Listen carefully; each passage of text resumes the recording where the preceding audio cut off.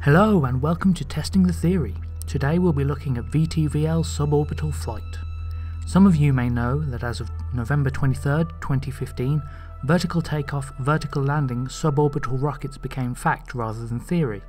That's why this week we will be more proving the fact than testing the theory, but it provides a great platform to talk about the New Shepard rocket developed by Blue Origin.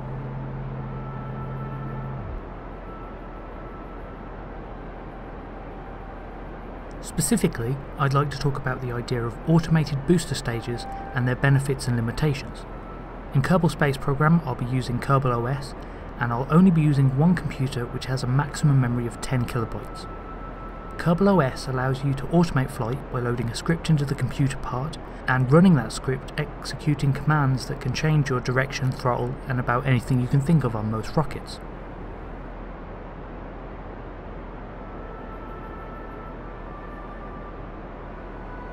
So to begin with, let's talk about guidance. There's very little to be found on the guidance systems or computers of the New Shepard rocket, but without guidance on the way up, wind, mass property uncertainty, engine misalignment and a whole host of other things could add up and put the rocket several miles away from the landing site. New Shepard lands a few hundred metres away from its launch site at a separate landing site, and this sort of accuracy would be impossible without an advanced guidance system.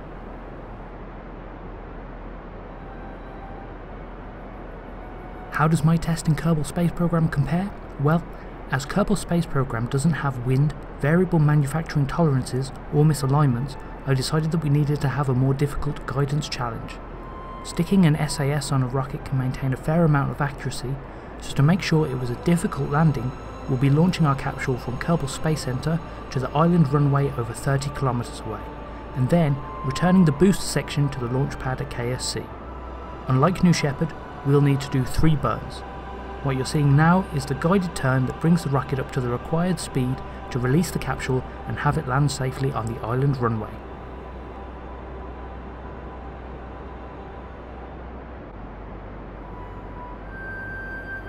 Even though New Shepard goes virtually straight up and down, don't underestimate the programming required.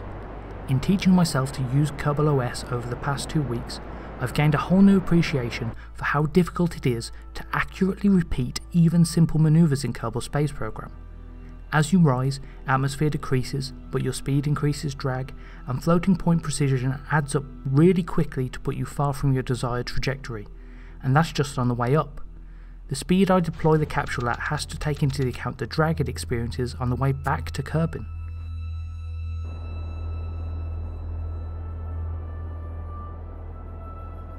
I had no idea when I started this over two weeks ago.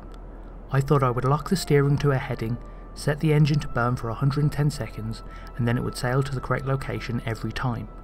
Not that you can't do that with Kerbal OS, but where you're pointing and the direction you're thrusting doesn't actually add up to the direction you're going due to cumulative floating point inaccuracies. You need to have active guidance. I used old-fashioned compass headings and geolocation to determine my heading and ground speed, though Kerbal OS does allow for vector math and vector-based guidance. Those of you interested in the deeper functions of vector-based guidance should check out some of the videos on Seth Persigehl's channel as he's been working on Falcon 9 style landing from orbital velocities with Kerbal OS.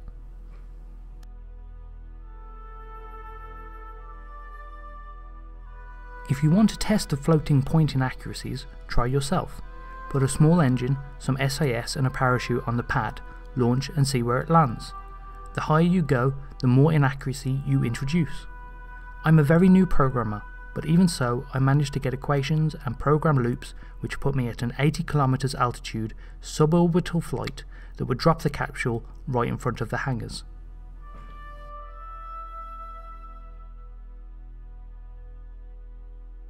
Our capsule is only going to 80 kilometers, which is 20 kilometers less than New Shepard, but 10 kilometers further into space. New Shepard barely crosses the Kármán line, the generally accepted edge of Earth's atmosphere, but on Kerbin the equivalent will be somewhere between 55 and 70 kilometers. The New Shepard capsule itself has room for 6 and has a weight limit of around 5 tons. This includes room for experiments and equipment, as New Shepard is designed to give people or scientists around 3 minutes of microgravity.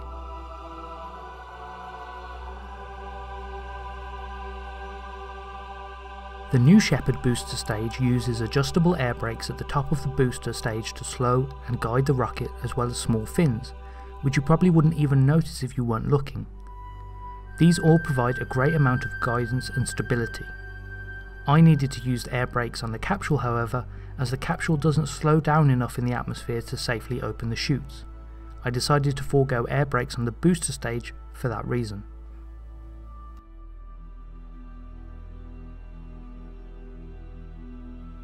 One of the greatest strengths of New Shepard is the engine, the BE-3, which, unlike most rocket engines, can throttle down to 40% and provide a stable hover. For comparison, the Falcon 9 can only come down to 60% and the Space Shuttle main engine to 67%. I cheat a little in that I allow my engine below that for the retro burn, and my hover value is somewhere close to 35% throttle at the end of the mission.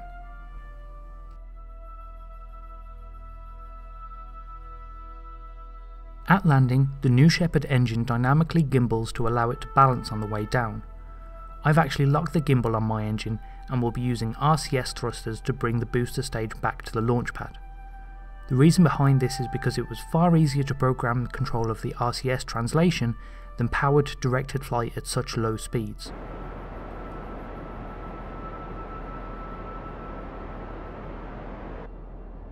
I think we've proven that automated powered soft landing recovery of booster stages is possible in Kerbal Space Program as well as real life.